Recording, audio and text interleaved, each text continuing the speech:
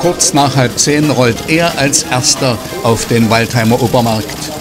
Matthias Hühn aus Wurzen auf einer Wanderer aus dem Jahr 1926. Auf der Burg Krebstein sind die Maschinen gestartet zu einer 125 Kilometer langen Rundfahrt durch Mittelsachsen. Äh, Windtauschphase, das ist die ganz, ganz frühe Motorradtechnik. Sie erkennt das an den Einstecktanks. Also die Tanks befinden sich nicht oberhalb auf dem Motorrad, sondern im Rahmen drin. Also das obere Rahmenrohr äh, läuft über den Tank drüber hinaus. Hier in Waldheim gibt es jetzt den ersten Kontrollpunkt. Auf den Viereck, genau mit dem Hinterrad dort anhalten, genau darauf zum Stehen kommen. Nicht aber nicht umdrehen, nicht vorher die Füße runternehmen und nicht nachkorrigieren. Genau darauf dann zum Stehen kommen, okay? Mal sehen. Zum vierten Mal seit 2007 hat der Verein Oldtimer Rallye Kriebstein e.V. zum Treffen der Motorrad-Oldtimer auf die Burg Kriebstein eingeladen. Der Zuspruch war so riesig, dass bereits im Januar die 180 Starternummern alle vergeben waren. Eine Wanderer mit 4,5 PS von 1920, pilotiert von Jan Teschner aus Markranstädt.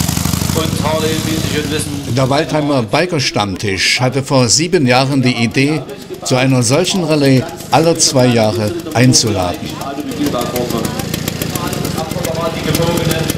Stefan Genscher vom Waldheimer Biker-Stammtisch kommentiert das Geschehen fachmännisch für die vielen Zuschauer hier am Obermarkt.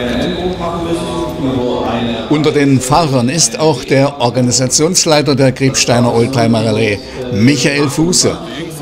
Er fährt auf einer Ariel aus dem Jahr 1929. Wunderbar aufgebautes Fahrzeug, schönes Boot, sehr stimmig. Im Beiwagen sitzt Sohn Moritz als Nachwuchsfahrer. Wir freuen uns, dass es alles so klappt, Micha, oder? Wetter passt. Danke für alles. Ohne Micha hätte das hier so nicht stattgefunden. Ja, gute Fahrt. Also. Herzlich willkommen, Lisa. Eine der wenigen Frauen am Start, die hier selber fährt. Wunderbares Fahrzeug. Unter den zwölf Frauen, die sich zur Rallye angemeldet haben, ist auch wieder Lisa Erber aus Teisendorf auf einer BMW mit Boxermotor aus dem Jahre 1928.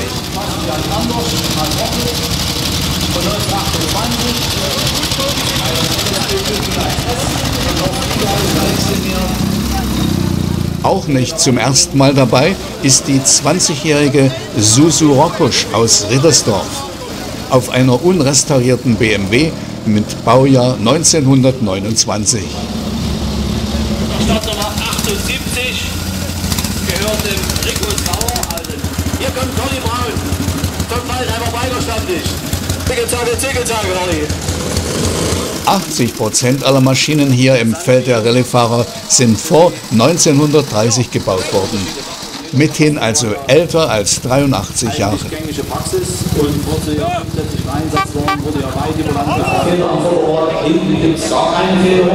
An. Wunderbar, dass sowas fährt, dass wir das sehen dürfen. Das ist sehr, sehr selten.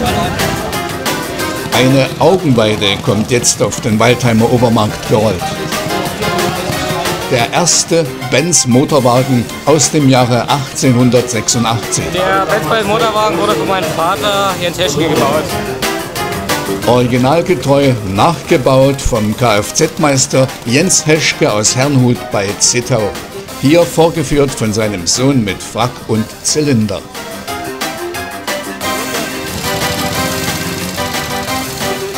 Der Benz Benzinwagen fährt allerdings auf der 125 Kilometer langen Rallye-Strecke nicht mit.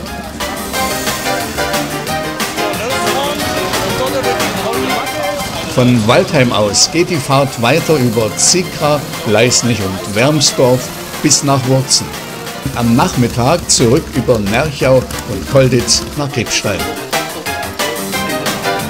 Bis auf drei Maschinen kommen am Abend wieder alle wohlbehalten in Grebstein an.